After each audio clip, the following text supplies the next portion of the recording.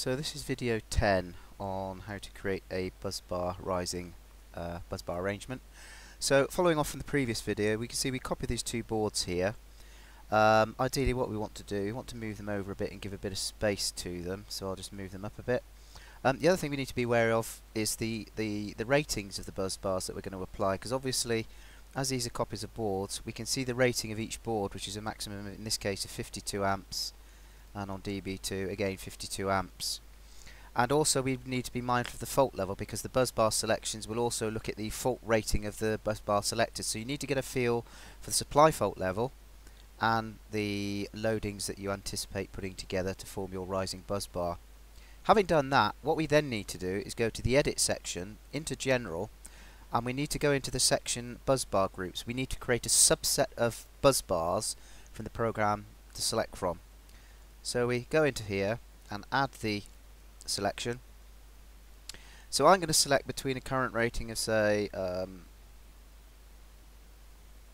25 amps and 200 amps and I want a short circuit rating of greater than at least um, 17 kA let's go for 18 and then we'll run a search on that. Now this will give you a search criteria. There is a maximum of 50 bus bars. So I've, what I've got to do is bring that down a little bit. So if I change the rating down to let's say 14 Ka okay that that's again saying I need to reselect my search criteria so you can see here having selected the greater than 18 really what I should have done is selected less than 18 Ka um, and run the search and that finds 20 bus bars. It's always tempting to try and put too much information in here. A common mistake lots of people make, and I've noticed it during training, they will try and be extremely explicit on the data that they enter in terms of um, information such as the exact size, the exact number of poles, and if you have that combination it isn't suited in the database, it just won't find anything. Number of poles you can get away with. You can usually say, well, I only want to look at six or four or three pole motors, um, a bus bar section. So you can actually um, apply that that whittles down the selection a little bit further. So this comes up with a range of bus bars for us, which we can then OK. So we now have a, a bus bar group selection from the Edit General. So we've now gone through that process. The next stage on the Insert Electrical menu is to put what we call a tap array in, where we put the tap array and connect into the distribution boards. So what we do, we select the tap array, and we select the fact there's a vertical tap, so I'm going to have a rising bus bar to the right hand side of these, so what I then do is say the number of bus taps is 2, one to each board. The default bus length would ideally be the distance between the floors, so let's use an ad hoc value of um, 4 meters between floors. And then let's say the taps are on the left. When I select OK, what I then do is click once, drag my mouse and let go, and that creates the bus tap arrangements.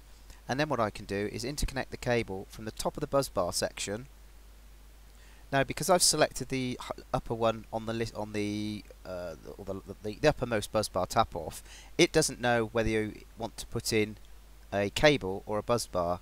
If I anticipate putting a cable in there, is this a bus bar section? No, it's not. I'm going to have a cable coming off to there.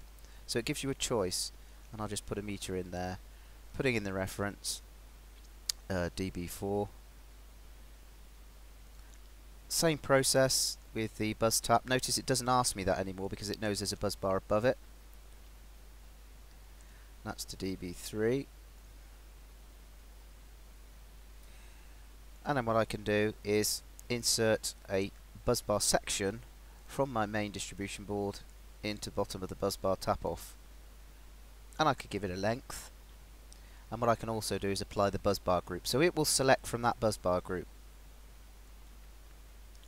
So having created the bus bar, what we then do is run the calculation and that gives us the size of our bus bars. But again, we can see here on these boards we've got issues which we'll discuss later on.